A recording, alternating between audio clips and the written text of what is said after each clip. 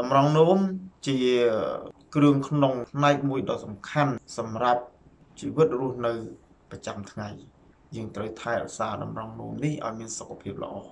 វិធីសាស្ត្រទី1បច្ចេកទេសទី1នៅក្នុងការព្យាបាលតម្រងនោមតាមក្បួនវិទ្យាសាស្ត្របុរាណក្បួនឱសថបុរាណក្បួនតម្រាថ្នាំខ្មែរយើងដូនតាខ្មែរយើងប្រើរុក្ខជាតិជាឱសថដោយដោយផ្គុំវត្ថុធាតុដើមរួមមាន ស្លឹកបឺស្លឹកបឺនេះគឺបឺដែលយើងយកមកធ្វើដូចទឹកកឡុកហូបនេះតែយើងយកស្លឹកស្លឹកបឺហ្នឹងបូកជាមួយនឹងក្របលហុងសក់ពោតបូកនឹងរឹសបូកនឹងដើមនឹងស្លឹកពោតយើងលៃឲ្យប្រហែលប្រហែលគ្នាមកយកទៅហាលថ្ងៃស្ងួតហើយយកមកដាំឆ្នាំងដីដាំហូបបកាយស័ក្តិសិទ្ធណា